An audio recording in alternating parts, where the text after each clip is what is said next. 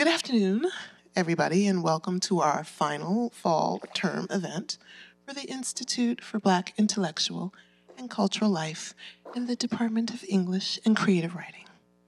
I am Kimberly Juanita Brown, and it is my pleasure to introduce today's speaker, fiction writer, Helen Elaine Lee. Helen. nice. Helen Elaine Lee is a professor of comparative media studies and writing at the Massachusetts Institute of Technology. She is the author of The Serpent's Gift, Watermarked, and her newest novel, Pomegranate. A graduate of Harvard College and Harvard Law, Helen was on the board of PEN New England for 10 years, and she served on its Freedom to Write committee and volunteered with its prison creative writing program which she helped to start. She wrote about the experience of leading creative writing workshops in prison in a New York Times book review essay, Visible Men. Her stories about people who are incarcerated have appeared in Prairie Schooner, Callaloo, Hanging Loose, Best African American Fiction 2009, and Solstice Literary Magazine. Pomegranate is a story of a woman who is getting out of prison and striving to stay clean, repair her relationships with her kids, and choose life. Her journey to grapple with the past, own and tell her story, and reassemble the pieces of her life is one of healing and autonomy.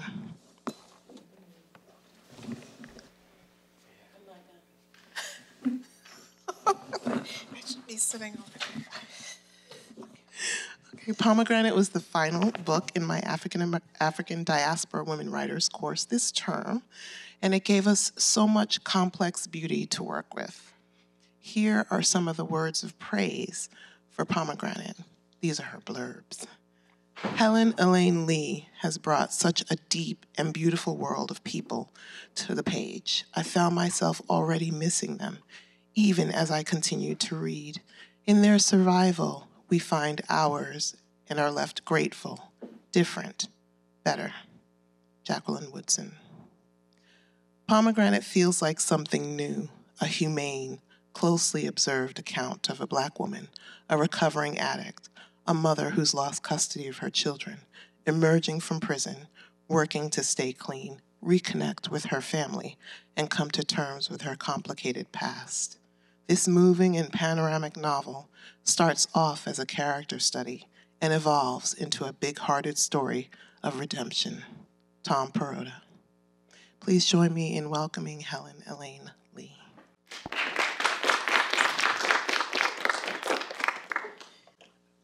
So, can everybody hear me? Yeah. Okay. Thank you, Kimberly, for that for that introduction. Um, Kimberly's been so supportive of Pomegranate since its early drafts, and, and I'm, I'm ever grateful to her. Um, thanks also to the Institute for Black Intellectual and Cultural Life. Um, it's exciting to be a part of your inaugural year, and, and thanks to you all for being here. So, uh, in Pomegranate, Renita Atwater's journey of healing depends on the strength to go backward and remember the past that has formed her. And um, she tells her present tense story of getting out of Oak Hills prison after a four year bid for opiate possession. And as Kimberly said, trying to stay clean, repair her relationships with her kids, own her love for Maxine, the woman on the inside who has helped to inspire her, and grapple to accept and tell her full and complex story. And Renita's voice is, is intercut um, with that of a third person narrator who brings alive the history, revealing some of the pivotal moments in Renita's life at Oak Hills and during her growing up that inform her present tense journey. So I'm going to read from three parts of the novel today an, an excerpt uh, with a little skipping around from the first chapter, and then a chapter from the middle of the book, and then the short preface. And I'm going to talk a little bit um, between and around what I read to, to give you some context. Um, so here are Renita's opening words as she speaks her story. So this is uh, set in um, February 2019. I live my life forward and backward. Seems like my body remembers what I can't afford to forget. I'll be carrying on, trying to choose right, and then the past comes for me, rumbling from my chest into my shoulders, pushing through my neck and up into my head. I try and answer its call, own where all I've been. Remember, even when forgetting feels like the only mercy. Four years of captivity, and here I sit on this hard plastic chair surrounded by cinder block, about to leave Oak Hills, waiting to be thrown back to the world. And I cannot get still. My knees jackhammer, my feet tap, they've got wills of their own. My interlocking fingers steeple and flatten and steeple. I try and empty my mind, but my Oak Hills life thunders to the surface and flashes before me like those shifting pieces of colored glass in the tin kaleidoscope I had when I was six. Damn, really? On my out day, which is stressful enough. I choose a pomegranate and try to see myself holding it, broken open in my hands. Leathery skin, pointy stalk, jeweled seeds, and I can just about feel the shape and weight of it again when I hear the shout, Did I say you're free to go? And I'm surprised to find myself standing up. I look the overseer in the eye. Why give him a name when all I am is inmate? And rein in my anger as I sit my ass back down. It's true what they say about time slowing down the shorter you get. These last few days of inch by, me hoping and praying I've got it in me to keep doing right. I wait to get back the belongings I came in with, wondering what my stuff will look like to me now. Clothes that no longer fit, cheap pleather purse full of what lip gloss, suspended license, empty wallet, two keys that no longer open anything. Dear God, dear power greater than me, whoever, whatever you are, let me prove I deserve to be a mother to Amara and Theo. Let me handle my business, work my program, stay on track. Keep away from temptation, avoid the people who can pull me down. In here, meetings give you the fellowship that gets you through and a place to say, to remember you're a human with a story that's got a next chapter. Even if the confessing is excruciating, I'll find a meeting and go every day if I have to. Own being powerless and powerful. Choose right. Behind the walls in this concrete desert, everything's regulated and decided for you. All the everyday stuff, the what's and the when's. Wake up and go to chow, get your meds, go outside and come back in. Take a shower, go to sleep, line up for this, sit down and wait for that. And all those things that on the outside you do and pay no attention, behind the walls, they're the high points of your day. Makes me feel like that German shepherd of Jaspers. He named him king and kept him in a chain link corridor. Nobody ever played with him or loved on him. He lived to eat. Buff that floor, scrape those plates, sew labels into those t shirts, one after another, and then some more. And sew American flags for the folks who hate your kind to jab you with. Improve yourself with classes and groups. All day long, you're told what and when and how, and the cost of defiance, too. And you hear the echoes of ancestors whispering that though the best chance for, of survival may be submission, that could also be the death of you. And love, affection, touch, the stuff that makes your heart keep beating, contraband. Now, who, I ask, can keep alive that way? Nothing much grows in here unless you go hard against the script. To keep alive, you got to choose what you can, small though it may seem. Imagine yourself past the razor wire. Notice those trees and birds way in the distance. Look at the sky and picture it whole. You've got to see yourself free from the demon that rides you, believing something new, something clean can happen after all. Behind the walls, nothing small. And choosing, it's something precious, and it means life just might have some mystery in store for you.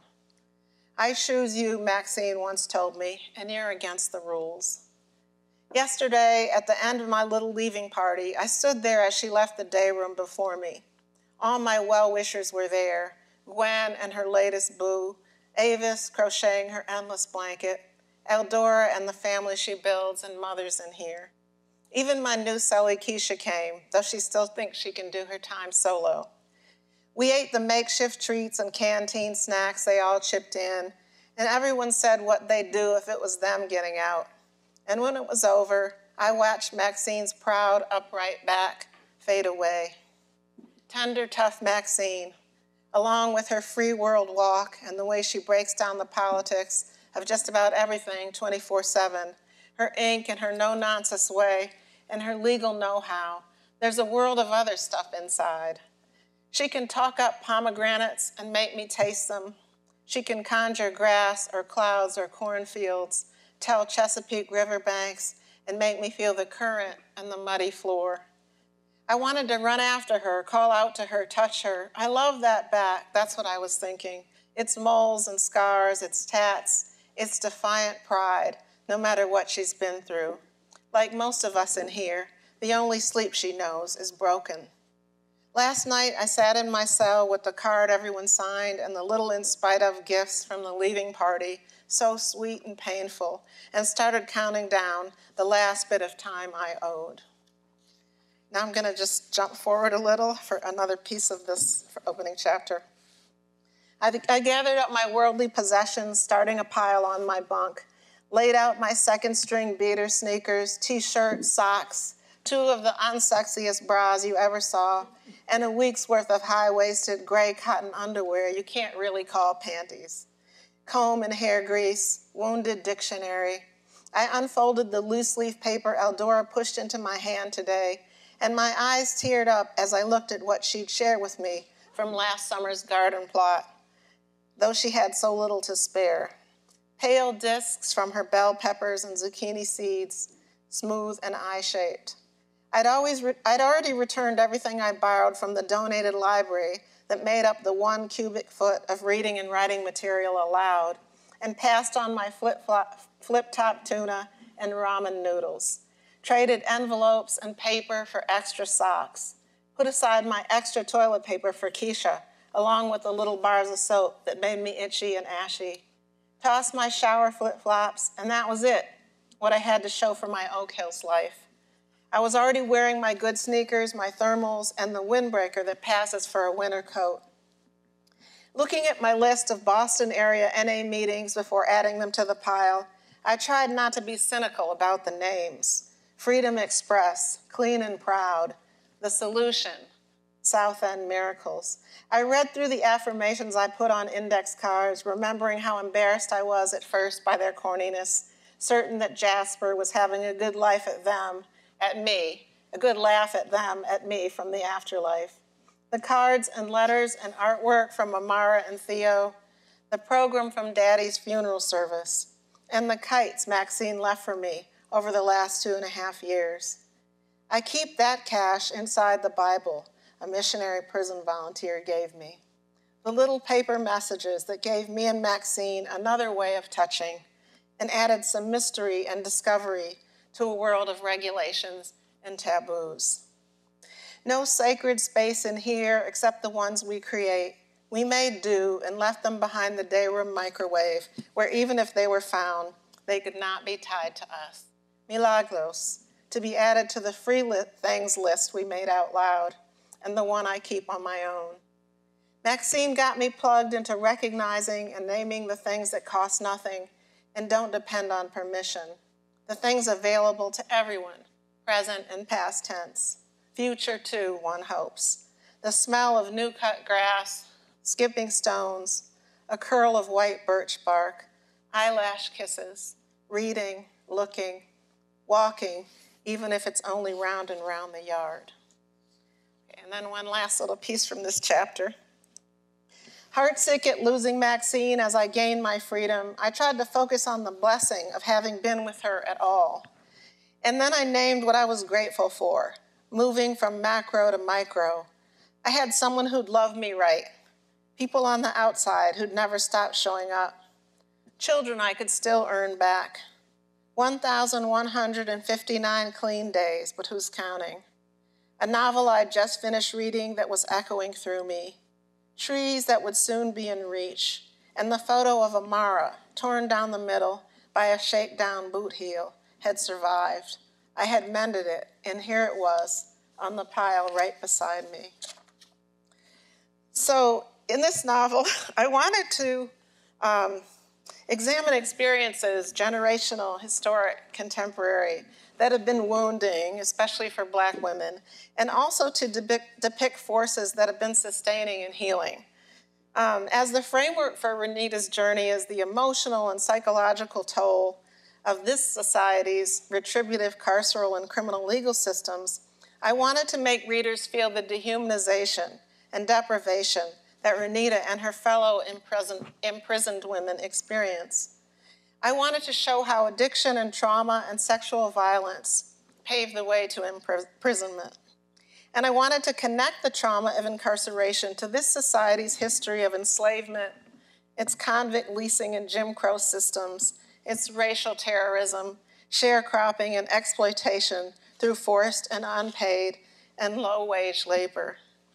And also, I wanted to show the spirit of resistance that is healing, empowering, and ongoing, and that is a fundamental aspect of the story of Black survival in this country and throughout the diaspora. The forces of collective action, kinship, imagination, connectedness, nature, creative expression, love, have always inspired us to make a, to make a way out of no way. For the second excerpt, I'm going to read a chapter, one that is necessarily painful, um, from about halfway through the novel. It's in the third person narrator's voice now, and um, it flashes back to a visit that Renita's father makes with her children to Oak Hills when she has been um, locked up for a year. So this is chapter 13. So, set in 2016. They listened for their names, visualized their people coming through the trap, bargained with their higher powers. Today, God willing, they would get a visit. If they heard their names, they answered with relief and often tears. If they didn't, there was another absence to add to all the others as they receded further and further from the free world. Renita felt blessed. Her family was coming. She focused on her little bit of forward motion, and even with what would follow, she couldn't wait to be with them, a year in and clean. Back at the jail post arrest, her father had been two feet away and unreachable on the other side of the glass that was magnifier and mirror. She'd watched him mouthing words she couldn't hear until she pointed to the phone she was holding and the one beside him. Before he left, like everyone else, she had pressed her hand to the glass and he'd done the same. How well she knew that palm that was nearly twice the size of hers and oil stained. When she moved hers away, obeying the order to return to her cell, and his lingered on the glass, she had choked back sobs. At Oak Hills, the glass partition was gone, but she knew the passage through the trap was still a trial. If he made it there after the hour and a half drive, he'd be sitting with Amara and Theo, along with all the other expectant families waiting to be called. Marooned on the waiting room pews, worn out elders tried to keep control of the kids they had in tow. Dressed in matching outfits, boys in navy and girls in pink, hair freshly done and skin lotioned, they chased each other round and round until a frown from a guard or a warning from a grandma brought them in line. Want me to tell your mama how you're acting? Why couldn't they just sit quietly? The elders shook their heads and tried to get ready for the metal detector and the stamp, the heartbreak, and the inexplicable situation in which they found themselves, the making do and acting happy, and all the questions they were so unequipped to answer. Too much to manage and not enough help or time or money or energy or thanks kids who would not obey, pressing with their whys, and them, aunties, grandmas, left to deal with it. No good explanation for why mama had been taken way up there, why she was gone again. No explanation for any of it. When would they get there, and why did the bus ride take so long? Why did the bathroom smell that way and have no toilet paper? Why were there no toys to play with? Why did they search the youngest one's diaper? Why did the man in blue never speak to them even to answer their highs. Why was mama living so far away, and why did they have to wait so long? How could they explain any of it? And how could they unravel why sometimes even when you came all the way up there on the bus because the car needed fixing or was taking someone else to work, and you'd done each and everything correctly, abiding by the rules for dressing and touching and talking and being, they called a Code 99 and locked the place down. And you turned around and went home without any good explanation of why they couldn't see Mama that month. Because, they answered, just because. Matter of fact, they had questions of their own. They'd like to ask why anyone thought it was a good idea to degrade and shame parents in front of their children's children, to separate them and punish them, and why their children's glistening and newly braided hair was seen only as a way to smuggle contraband. They'd like to ask who, after all, would want to keep people locked up for a living. I'd rather be on unemployment, they thought. I'd rather be on welfare for the rest of my goddamn life. Look at that one over behind the plexiglass and the counter now, thinking he's something other than a slave. They might have had no choice about doing as they'd been ordered, but they, they could decide to never, ever give the guards the satisfaction of looking them in the eye. After Lennox had surrendered his, his driver's license and produced the kids' birth certificates and proof of guardianship, he put their outer layer of layers of clothing, along with his watch, wallet, eyeglasses, and phone, in a locker and deposited a quarter in exchange for a little orange key. Wait, he said, gently pulling Amara back to remove her barrettes, and then opening the locker to add them and get another coin. Jessie was still talking about the blow of having to surrender her gold chain with the praying hands pendant to a CO's custody after she'd made it into the trap. They found seats behind another, beside another family while a drug detection dog walked past, sniffing at their legs. Most of those who sat waiting knew the dog would not stop at them. There was nothing to detect. Still, they couldn't help tumbling back to the lurking ambush of the countryside and the stop and frisk terror of the city and it never ceased to unnerve the knowledge that they could suddenly, disastrously run afoul of the law, which had never meant to serve or protect them. At last month's visit, when five year old Theo had reached out to pet the dog, the guard had cut him off with a cold knife edge, no touching, he's working, and Theo had cried.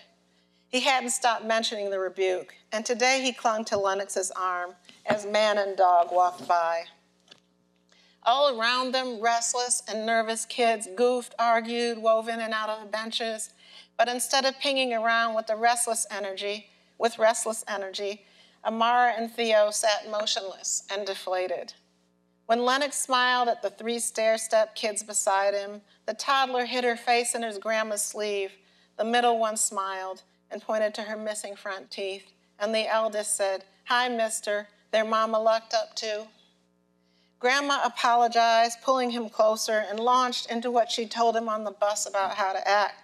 And then they were called, and she was getting to her feet, pulling her string of little ones along. Why can't they call us? Amara asked with sullen sadness. Again and again, Lennox looked at his, wa- at his wrist, though the only thing to see was a pale band of freckled brown skin. He pulled the locker key from his pocket and put it back three times. The slacks and button down he wore whenever he was not at work were well within the rules, but he looked at the dress code posted on the wall in English and Spanish. For men, no blue denim pants, no cargo pants, no double layered clothing, no sweatshirts, no hooded sweatshirts or jackets, no t shirts, no pockets with holes. It was more challenging for women, as Jessie had found. She'd been turned away once for excessive pockets. No skirts with slits, no skirts more than three inches above the knee, no shorts, no skirts. What in God's name was a skirt, he'd asked her. No tank tops, no halter tops, no scarves, no low cut tops, no form fitting stretch pants, no bathing suits. Another question for his sister who would wear a bathing suit to the penitentiary? No sheer clothing, with or without a bra. At her first visit, Jessie's underwire bra had set off the metal detector and she'd been taken to a little room for a pat down search at the hands of a stone faced stranger. After standing with her arms outstretched, pulling the wire away from her rib cage and her waistband from her belly, lifting the bottoms of her feet while trying to balance on, on one leg like a ridiculous flamingo stuck in the least exotic of places. She had come braless, in a pullover that was roomy enough to hide the evidence of her drooping middle aged breasts, but not too baggy to prevent entry. When their turn finally came, the heavy metal door rattled open and shut behind Lennox and the kids, and they were taking off their shoes and putting them in a bin, turning out their pockets, getting the black light stamps on their wrists, and walking through the metal detector archway. Through it all, Lennox stood tall and looked past the cold, dismissive glances of the guards who puffed out their chests with self importance and shook their heads at the failure of his family, his people. He answered the question on the clipboard he was handed Have you ever been convicted of a crime? writing a big, bold, uppercase no. Coming through the buzzing gates with a child by each hand, he moved toward visitation looking down at their feet and their three gleaming shadows on the buff linoleum floor. 14, 15, 16 steps, and 23 to go until the next door, a right turn, and then 12 more. Now sitting for the final wait, he watched the door. As soon as she entered the room, Renita heard the voices of children and saw the mothers, grandmas, aunties, and sisters who sat with them, and the few men who stood, up, stood out like trees on the prairie. There was Daddy sitting with her babies, who were almost too beautiful to bear. Kids chattered and jumped around, trying to hard, hard to entertain themselves with out of date highlights magazines and a few worn or disabled toys. A truck with three wheels, a doll with matted blonde hair and sightless blue eyes. They argued and complained. This one hit me, that one teased me, that one took my seat. A boy stood apart, arms folded and tucked into his body, silent and wary of his disappearing, reappearing mom. A toddler, dressed in the denim and timberlands of a miniature man, stiffened in his mother's insistent hug. A family played gin rummy with a deck of limp cards. The Oak Hills women ached for these visits, proof that life and love go on, and once they came, they weren't sure they could endure the stilted positivity. The walls with their fake wood paneling seemed to close in, and the cheerful posters of panda bears and smarmy memes mocked. The lit up soda and junk food machines enticed, only to overcharge and disappoint.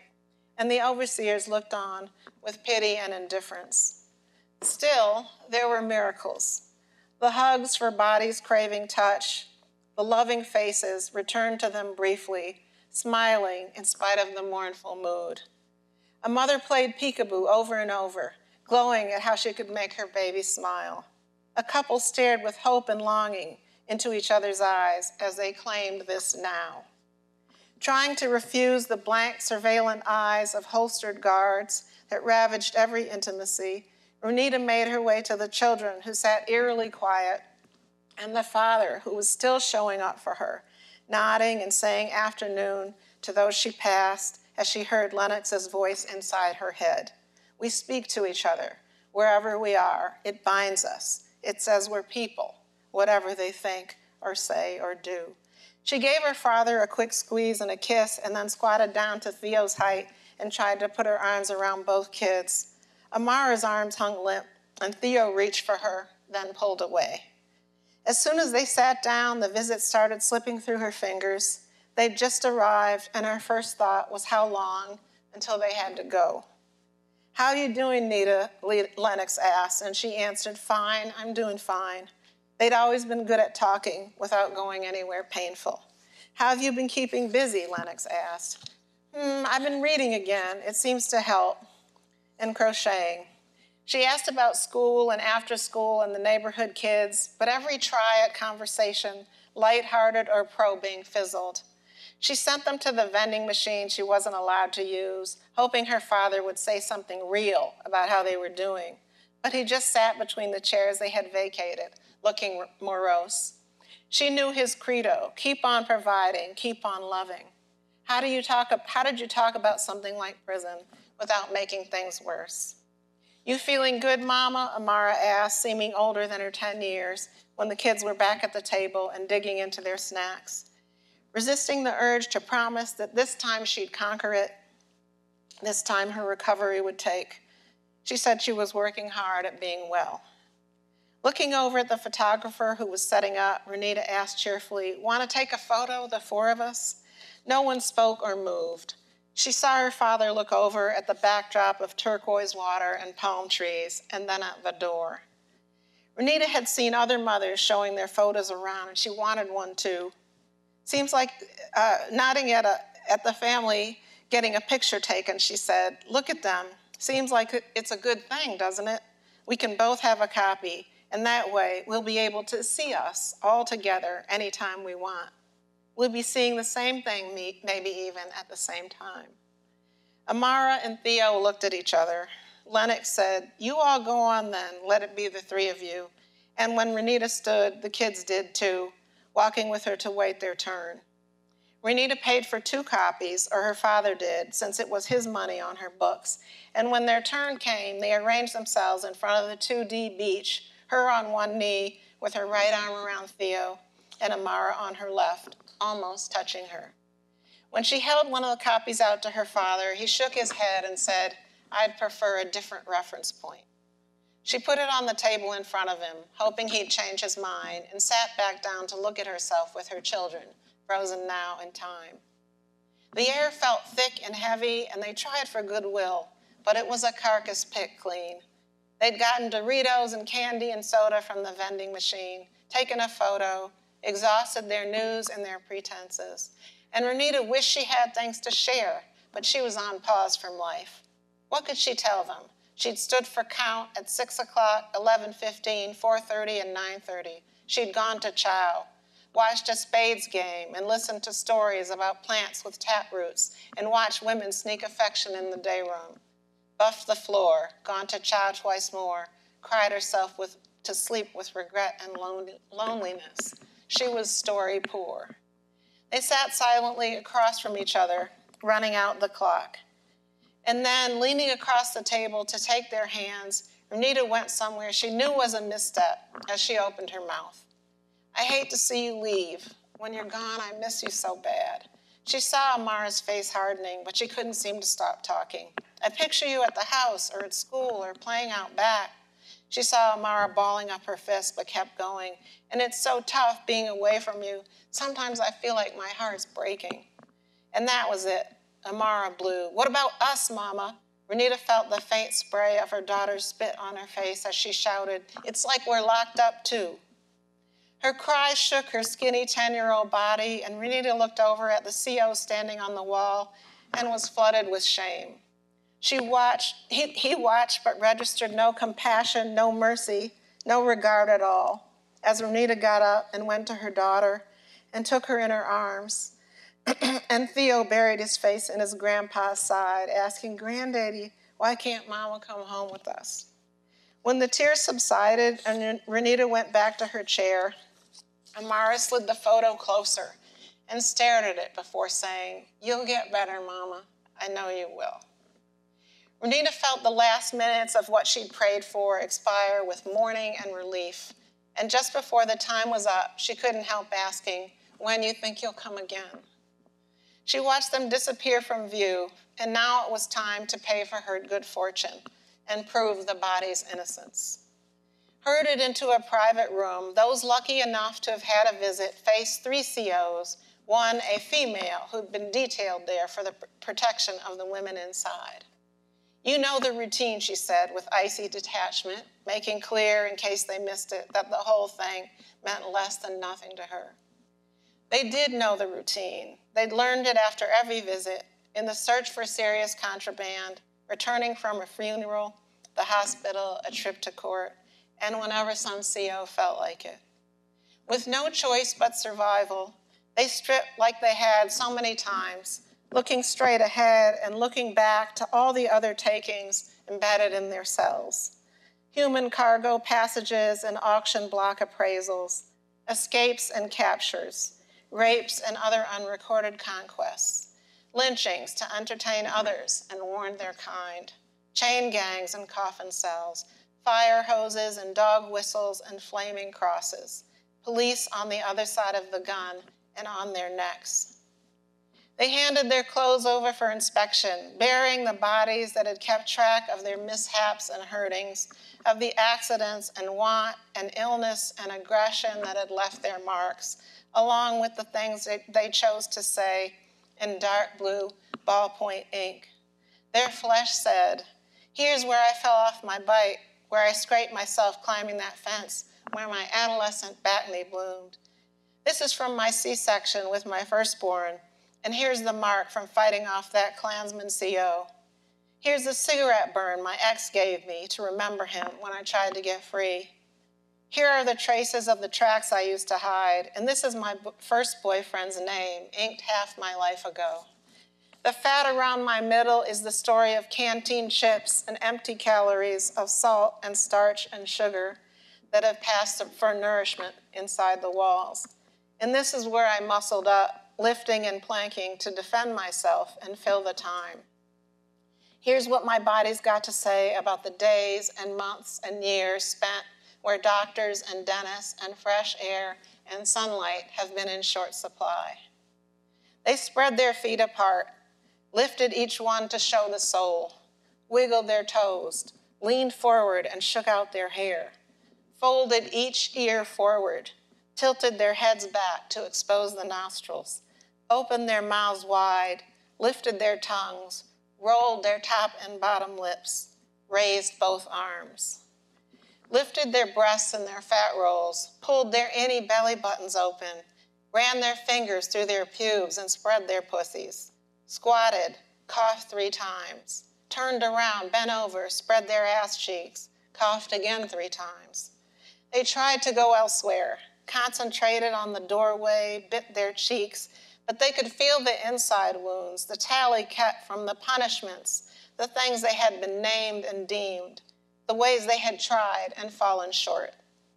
From the poisons in their blood and lungs that had seemed like liberation, from the ones who broke and entered using kinship and prayer as passwords, from the daily wound of being reckoned less than human, the toll of being thrown away like trash.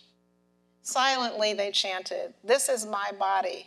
It is still here and it is still mine, and it is known worse than this along with its portion of pleasure and kindness and love. It was mine, it is mine, it will be mine. But it is also just a body, and I can leave it and go past hurt, past feeling, past anything you can do to me in here today. Okay, that was a lot, I know. so, so in this chapter, um, we feel the, the pain of historical, generational, and interpersonal violence um, echoing in the, the bodies and souls of the characters. And, and we feel the struggle to be human and complex and defiant and hopeful and loving within the context of oppressive state authority. So I'm not going to leave you there, though. With this last short excerpt, I'm going to give you some of the hope and possibility that are, that are threaded through Renita's journey of healing accept- and self acceptance and autonomy. So, um, informing Renita's addiction are the ravages of her experience and inheritance, and yet uh, the, the generative resources around and within her can be discovered and retrieved. And that's one of the things I'm after um, with this novel. So, so here's the preface, um, which is about loss and receiving, I think, about those, you know, two things that are polarities in our lives. So for this first two pages, of the preface. Mama was gone and not gone. She had disappeared into the hospital while Renita was at school, getting tamed and stuffed with facts and equations. And there she lay, immobilized by tubes and wires. Renita had stood beside her hospital bed, watching the blue ventilator bag fill and empty, trying to understand how Geneva Atwater had been felled by something as tiny as a blood clot. She had seen her dying. And after the mourners filed past Renita at the wake, grateful for the phrase that helped them navigate the sudden woe sorry, so sorry, so sorry for your loss, she had stood beside the coffin and stared at her mother, lying in its white satin folds like a parody of a fancy gift box display. The shiny wig Daddy knew she would have wanted, low on her forehead like a helmet, skin waxy and mouth pressed shut, eyes closed to her for good now. She had seen her dead, but she heard her mother's voice in the back door alcove at the table in the basement, and now she would never please her, never tell her what she was keeping inside, never love her more than she feared her. A month after the funeral, she sat across from Auntie Jessie, picking at one of the casseroles the church ladies kept bringing. She'd brought a book to the table, which had never been allowed, but there were fewer shouts and shout nots now that Jessie had joined Daddy at the house until things eased up. He stretched out work as long as possible and escaped to go fishing on the weekends, and both he and Jessie tried to stave off the bloated gloom with food, encyclopedia facts, artificial cheer. Neither one talked about Geneva. Neither one asked Renita about her sadness. That was the family way, and what hurt kept haunting like a hungry ghost. She heard the front door open and close, and there was Daddy in the archway, smiling like a moonlighting jester, chuckling from his belly like he was launching a magic trick. He pulled a dented orb from a brown paper bag, and Renita told herself to smile. She'd seen photos and drawings of pomegranates, but not a real one. Where'd you get that? she asked, more edgy than she intended, and his smile wobbled. Your birthday, getting lost in the shuffle and whatnot, I thought, he began. She looked away. Eclipse was more like it. He put the fruit in her hands. There's no making up for what's past, but this here, it's got some surprising and wonderful news buried just inside. Expecting a whole lot of nothing, her fingers studied the scratched and ordinary skin. He said they should wait to open it. Sometimes waiting made things better. You hungry, Lennox? Auntie Jessie asked, getting him a plate and listening as he told about the engine repairs and paint restorations that had filled his day. She kept him chattering while Renita muted their voices in her head, turning the pomegranate to take in its flat and faded spots, pressing on the sharp crown at the top. And when she was about to get up and wait on something else, he said, Let's open it. Renita peeled back the rind and pried the bloodshot gems from the spongy membrane that held the whole thing together. She was struck silent, awed by the wild design of it and by the little bursts of sour sweet juice from the seeds that turned her fingers red. There was a whole world, strange and crazy beautiful, underneath the skin, layer on crooked layer of ruby crystals, and chambers like inside a heart. So we're all, we're all um, left to grapple with the echoing losses of our lives. Um, but, our, but our bodies and our vision and our voices can be reclaimed. And in our hearts, you know, alongside the losses, are our abundance and possibility.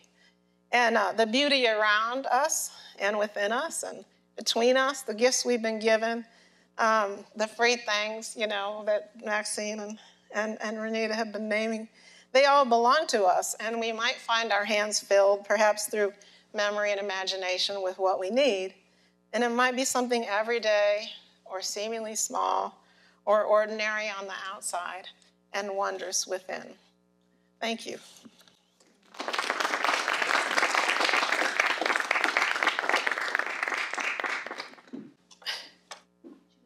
And now we're going to talk, I guess. okay.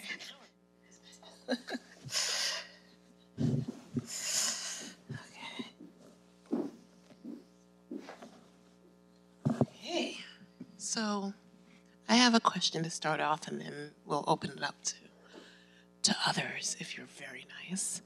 Um, but the question that I have to start off with is how you negotiated the space between trauma and evolution for Renita, and how you held those things together without so much explicit harm for the reader. Does that make sense? Without explicit harm? Because oh, yes. Because I, I, you know, when I, that section I just read, the, the visit, the strip search and all, it's so painful. And I, wor- I, I read it recently at a reading I did at MIT, and I, I wondered if it felt like explicit harm for the reader, but I don't know. I guess I believe I do mean to disturb you, you know, because um, literature has that power, I think, to expand our and deepen our understanding, to disrupt our um, and complicate our notions of life. And if so many, you know, over two million people can live that experience, then then I figure we can. Uh, I can write it and you can read and read and listen to it. So, but I but I know it is it is hard going and a lot you know so are some of the childhood experiences that she has. But um, so how I I wanted to tell it true, you know, but that also she's more than her trauma, you know, and I so that one of the ways I guess of negotiating that was to show make her a person, you know, with a a complex person with a whole um, you know, history that some of, some of which is traumatic and, and painful, and, and, and some of it which is, which is, you know, a whole ra- a range of experiences, I guess, and, um, and, and to show you that, you know, through, so I think the fact that you see her in the, it, alternates, you know, between the first person journey, and, and so you see her spirit, you know, and you hear, hear that in her voice, and you see her getting it together and you see her complexity. So you know you're moving forward in that way, and then you're taken back back to these moments. But I mean, I always return you to the journey she's making. So I think, I think the um, that alternation of the first and third. And there there are some other reasons I, you know, and ended up telling the story in that way too. But that I think that accomplishes that. That you, you're returned always to, to her, even when she's struggling with you know, with getting out and get, and getting it together. There is the power that she has inside and the love that's been imparted to her. Um, some of it in the present tense journey, and some of it, you know, uh, in the past. And I guess there are the resources that I gave her because I wanted her to make it, you know. So, mm-hmm. so she has these. She loves books and stories, and she has that to draw on, and um, she has this great imagination, which Maxine kind of re- reignites, you know. And together, this naming the naming the free things or all the ways that they sort of practice um, uh, imagination in a healing way. And then she has the steady love of uh, her father and her aunties and some of the things her father imparted to her, like uh, intellectual curiosity. They do these encyclopedia dives and um, and uh, a love of nature. You know, they one of the um, flashbacks scenes third person scenes is the growing a garden together. And though, you know, that her mother has a force in that scene that's that's that's painful. But so the he, the father's the sort of counterweight, I guess. So, um, you know, so I, she's got these things to draw on, I think, and hopefully those those are what you feel and a, a, a sense of. One of my students read it when it was in the galley form, and and she said it's a lot, a lot of it's painful, but I always felt hope. So I guess that you know I'm trying to give you a, a rough story, but with all that context to make it bearable. Absolutely agreed. Um, one of the things that we've gone over in class is the you know unwritten theme of the course is how do you love a complex woman? Uh, the unwritten theme of what? The course, the class. Okay. Is how do you love a, a complex woman? Because part of the gendered construction is to think of women as, as simple or as easy. Mm. And they're not that. Renita is our best example of what that might look like if you follow it all the way through. Yeah.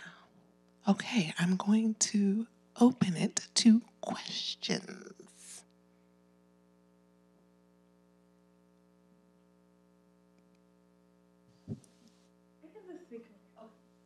Uh, um, I wanted to ask for Renita how um, her connection with nature and how does that kind of like how does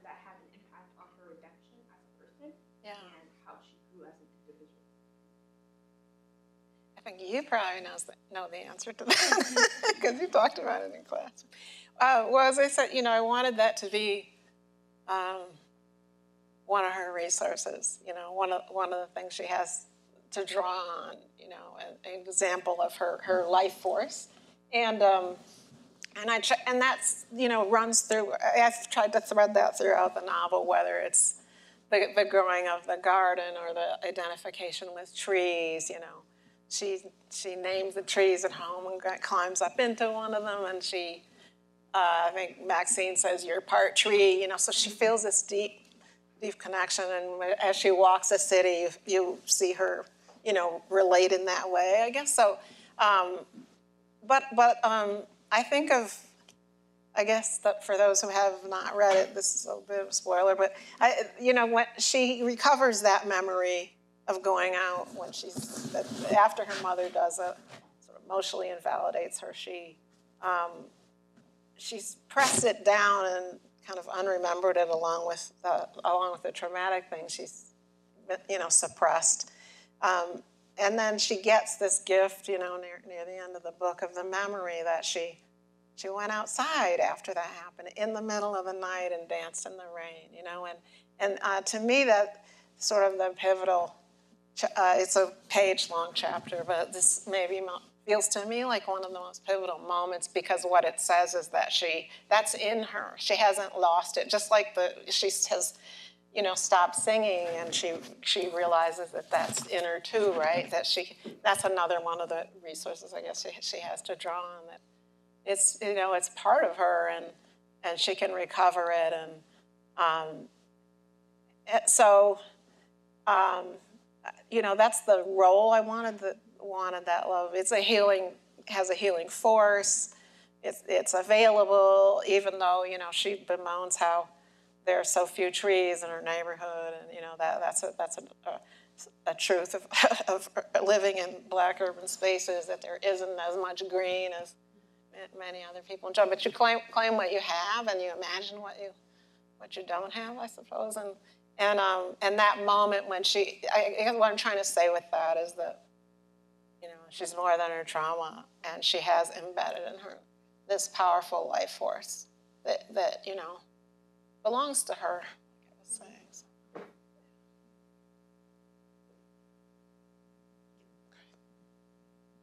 Do I just? Yeah. Um, so thank you so much for the reading. It's absolutely beautiful. Um, and difficult to listen to Yeah. Um, I, I'm it's not all like the whole book's not either like that either. No, but I think it's uh, yeah. critically important, especially when we're trying to process trauma and go through it because like going back into the words of Roxane Gay, you have to write within the wound in order to move the trauma. But um, my question to you, you were talking about the idea of imagination and healing. Um, I wanted to know more about the critical importance of imagination and healing, and how do we sort of get away from trauma with imagination, right? Yeah. And how is that a healing practice, right? Incorporated with your story. Yeah. Yes. Um, so some of the, so she, um, again, I'm going to tie that to another thing that's, you know, these these resources I'm saying that, that we have have to sustain us. So, because I, I like the way you use the word practice. So one of the things she comes to understand at, the end of the book is that love is a practice too. You know that it, that is about uh, uh, love with accountability, right? That is about a da- the daily struggle to to love yourself and other people. It's not some sort of in the Baldwin sense, you know, it's not it's not some sort of sentimental, sloppily, sloppily sentimental thing. You know, it's a as he says, it's a war. You know, but um, but so I think along with you know the the, the um, naming the the free things, you know, the relating to the nature and the trees. That take, she takes these walks, you know, all of that. Those are pra- are practices too, and so uh, some of the ways that the imagination plays out as a practice is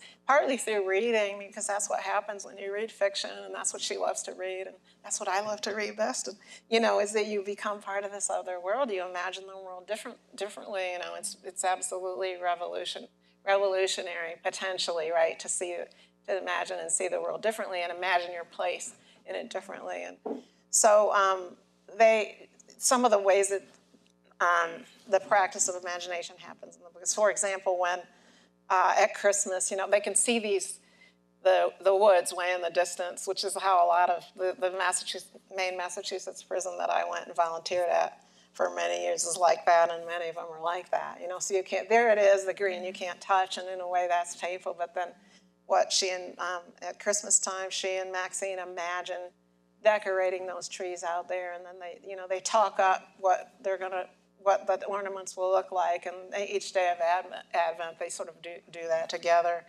Um, but and then there's Maxine has that ability to conjure things, you know, moments in the past and aspects of nature and beautiful things. So that so that's another practice. And um, the kites that they leave each that you know, and those are little notes people.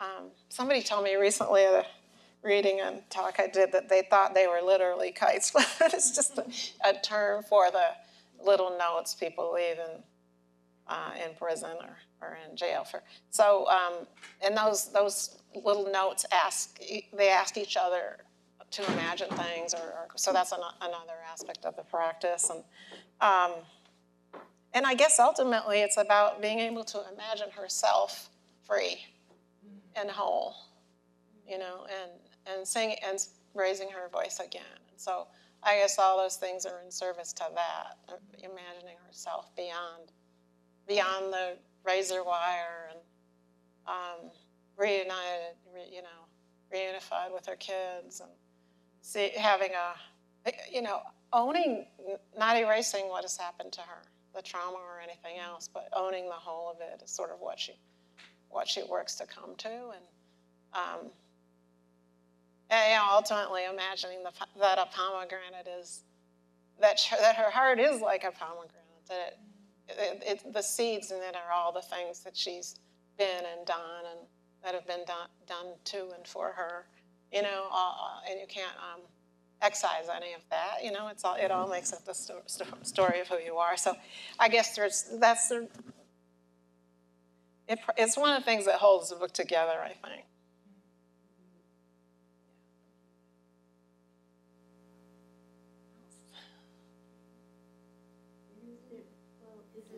Is there a student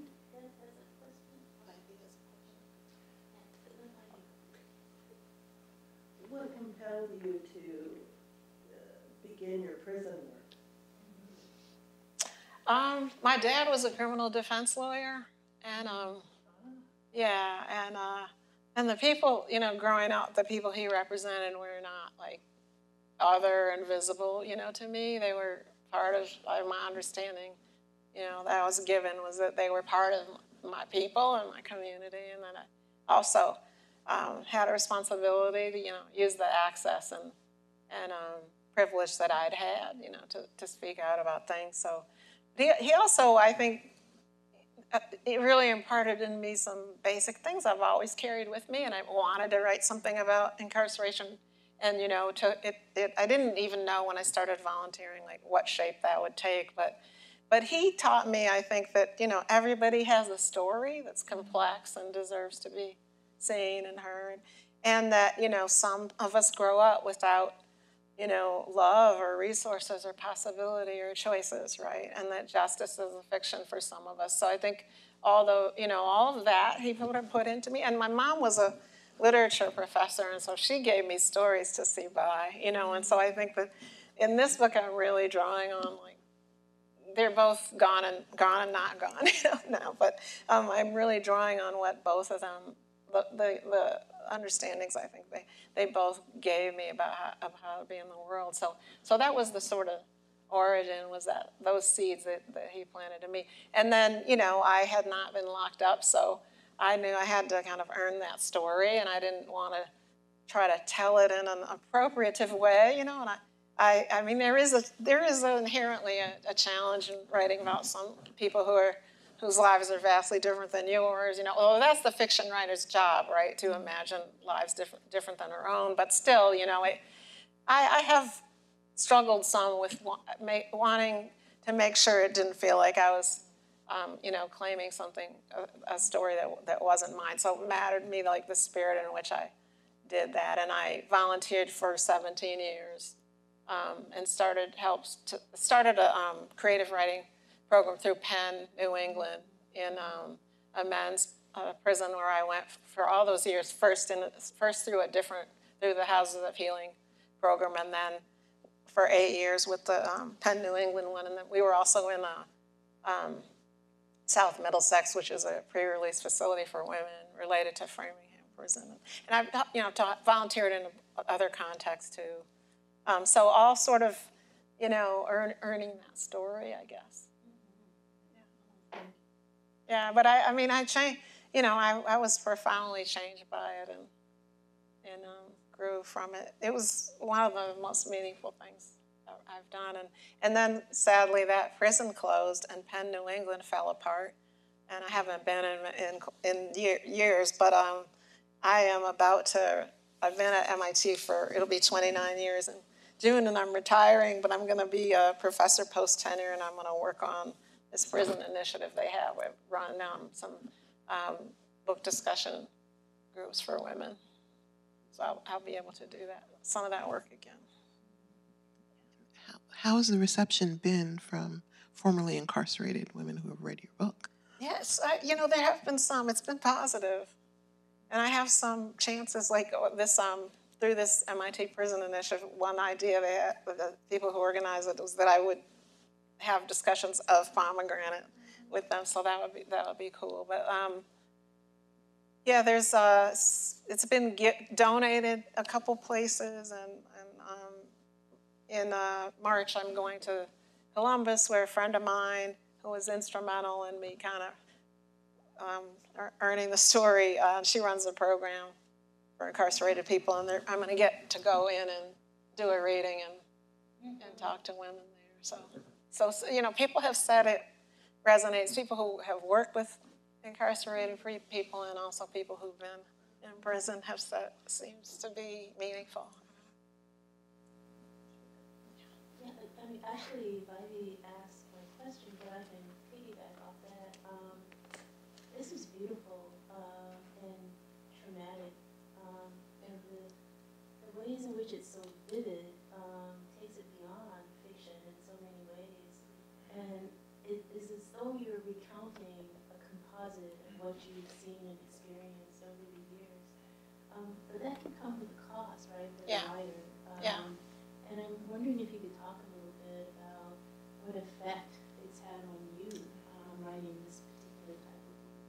Yeah. Um, it's been hard. I don't know how to. It's been hard. But um, so I guess I have to wind back a little. I uh, maybe let's see how many years ago. I don't know. I, I guess I started going, doing the volunteer work about 20 years ago. For a couple years, I just listened and didn't know what, you know, would come, what the shape of what I would write would be. And then I did write a novel. Um, it was called Life Without. It was about 10 people five, uh, who were incarcerated, five women and five men in prisons down the road from each other. And I couldn't get that book into the world. And you know, now now I understand why better. But also, it was partly about the just the moment people said things like, you know, people don't buy. Editors said, "Oh, this is emotionally wrenching or whatever, or important or whatever, beautiful or whatever," but people won't buy it, and they just didn't see who was the audience for a book like this, or painful things like that, which is kind of a way of saying these lives don't matter. I think, you know, and then. Um, I let that go. I pulled, there was a, a story of a DNA exoneree, one of those 10 people, and I, I pulled him out and wrote a novel. I had a different agent and couldn't sell that. And then I kind of stopped um, writing, or I never stopped writing, but I stopped trying to get things in the world. I did publish some of those stories that, that you mentioned from it. And then um, I don't know, things came together to make me just decide to try again. And so I pulled Renita, Renita was one of those 10 characters. So I pulled her story out of there and grew grew it into a novel.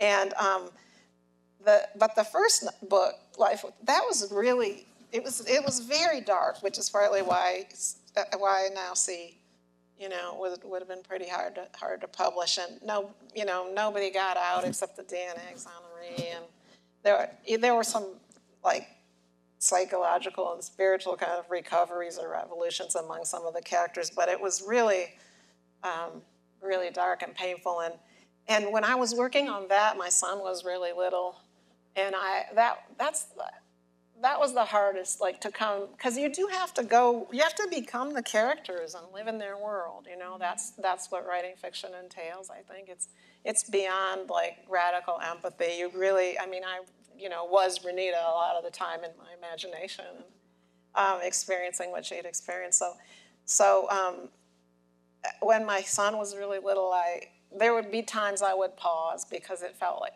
it was just too hard to leave it behind and then you know, be a positive, you know, I don't know. Yeah, be, be a mother.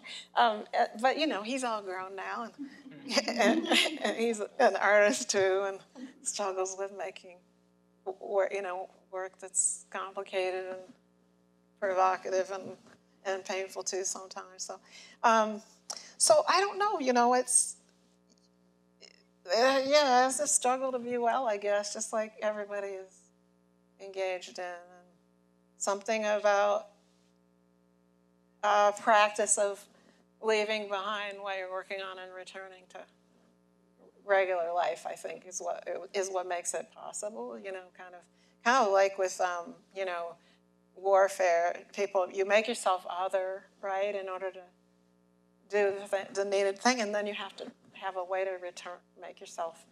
I don't know. That's what that's what war paint is, for, for example. You know, so I think you you fi- find some way, maybe through, you know, through the way you organize your writing practice, or I, I think I was doing that a little bit, and then you you shut you stop for the day and you take a walk and you come back. You know, it's still running through you. Yeah, it's, it's I mean, maybe you know, just like with the pomegranate seed, that's that's the book's in me, and those all the people in it are are part of me. But again, like I feel her story is one of triumph, you know, and I knew she was going to make it. That's what I had in mind for her, you know. I mean, and uh, that's not totally settled at the end of the book, but that's what I imagine. You know, she, she, uh, she with the another resource she has to draw on is this um, wonderful psychotherapist, black male psychotherapist, because she, in order to for family reunification, you know, which is she's engaged in that process. That's man psychotherapy is mandated. So that's another thread through the book and echoing the other all of the other resources. And and he's you know um, steady and loving and, and caring. And so um, yeah, anyway. When I met Helen, she had as an aside, one day she just said, I have three novels in my desk drawer and I couldn't get it out of my head. I was like, You have what? Where? she was like, Yeah, I'm just like, uh, I'm not ready to return to them yet. I was like, Them, plural? You have three novels in your desk? And yeah, that was a stepping away. And she was, she actually, I owe a lot to Kimberly because she was like, never stop saying, You gotta, you gotta get back you know, you try, you got to try, get them out there. I am a known celebrity stalker, and I stalk writers. this is understood. So, yes. Do we have any other questions? Final one? Anyone? Okay. Ah. I absolutely hate the show, Orange is the New Black. Okay does incredible damage to a gaze upon black women that's already twisted and warped. Yeah. And I watched the whole thing just so I could argue with people about it. What do you feel about that show? I, I did not watch that show intentionally. Yeah. I did two and a half seasons and then I stopped. Yeah. Yeah, I, I didn't know. Yeah. It seemed, I was trying to do something, you know, so so different, I guess, than what they were trying to do. But also, I, I maybe I just I just thought it would break my heart.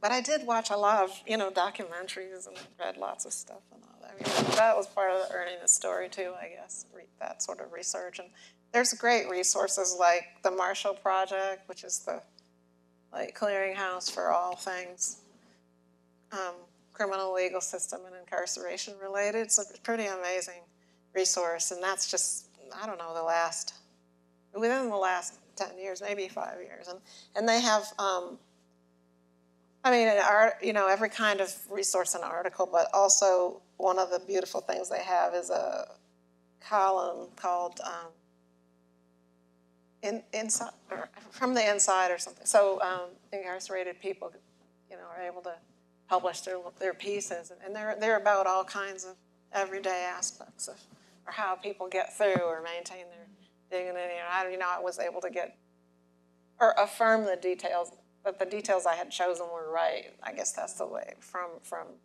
you know, reading those first person accounts. And I mean, you can find so much stuff online.